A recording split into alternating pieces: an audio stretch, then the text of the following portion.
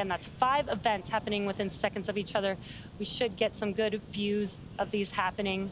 Again, that is MECO, stage separation, S1 Vehicles flip. on a nominal trajectory. Good call outs there. So stage one flip, SES one, and the boost back burn coming up here in a few seconds.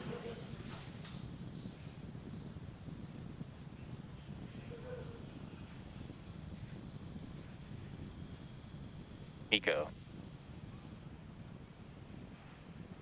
Stage separation confirmed. MVac ignition.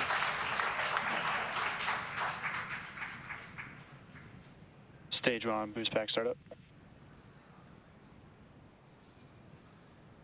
and some incredible views from the ground cameras. We actually got to visually see MECO stage separation and see the first stage flip on your screen. That was incredible to see.